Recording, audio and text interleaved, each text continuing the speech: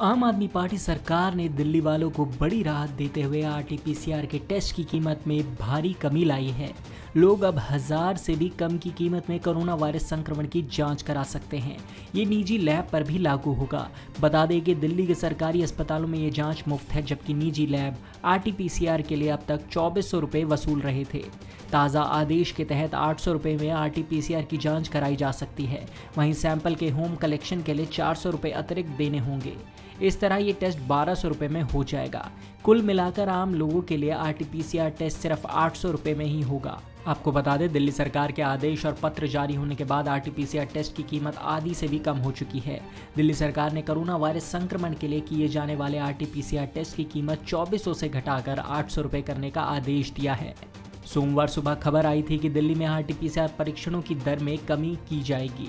वहीं केजरीवाल के इस निर्देश पर दिल्ली के स्वास्थ्य मंत्री सत्येंद्र जैन ने कहा था कि जल्द ही इस पर आदेश जारी कर दिया जाएगा। ऐसी ही देश दुनिया की तमाम बड़ी खबरों से जुड़े रहने के लिए देखते रहिए पंजाब केसरी।